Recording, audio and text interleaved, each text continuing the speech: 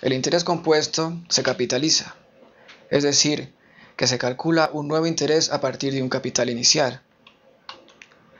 En el interés compuesto, el interés ganado en cada periodo es agregado al capital inicial, sobre el cual se calcula un nuevo interés, que es lo que conocemos como capitalización.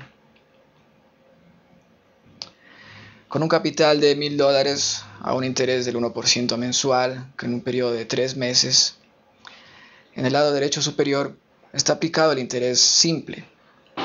Al final de dicho periodo el monto será de 1030. En cambio el interés compuesto tiene que capitalizarlo en cada periodo. Mil dólares al 1% en el primer periodo será 1010. 1010 aplicado el 1%, en el siguiente periodo será 1020.1 y así. Al finalizar los tres periodos tendremos 1030 con 30 centavos. Es decir, en un periodo tan corto de tres meses vemos que el interés compuesto es mayor que el interés simple. Ahora queremos saber cuál es el monto compuesto de un capital de 2.000 dólares por tres años al 7% capitalizable trimestralmente. Vamos a tener que familiarizarnos con el tema de capitalizable trimestralmente o semestralmente o mensualmente. Quiere decir, en este caso trimestralmente, ¿cuántos periodos de tres meses contienen un año? Serían cuatro trimestres en un año, dos semestres en un año o doce meses en un año. Vamos a calcular el monto compuesto.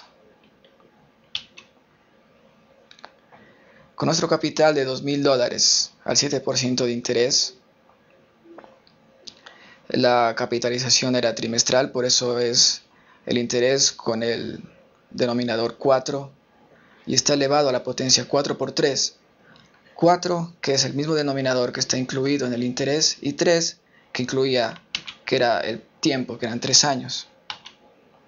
A la final el monto compuesto será de 2.462,88 centavos. Ahora queremos encontrar el valor actual de 4.000 dólares que se pagarán en 12 años al 10% capitalizable semestralmente en este caso. Es decir, que el denominador que tendrá el interés será 2, porque en un año tenemos dos semestres. Entonces el valor actual en nuestro caso será los 4.000 dólares al 10% de interés capitalizable semestralmente producirán 1.240,27 centavos. La fórmula considera el exponente como negativo porque se trata de encontrar un valor actual. También es importante saber a qué tasa efectiva es equivalente una tasa nominal del 24% anual capitalizable semestralmente. En este caso, vemos que es equivalente a 25.44% en base a la fórmula de la ecuación de equivalencia, que es la que tenemos a consideración.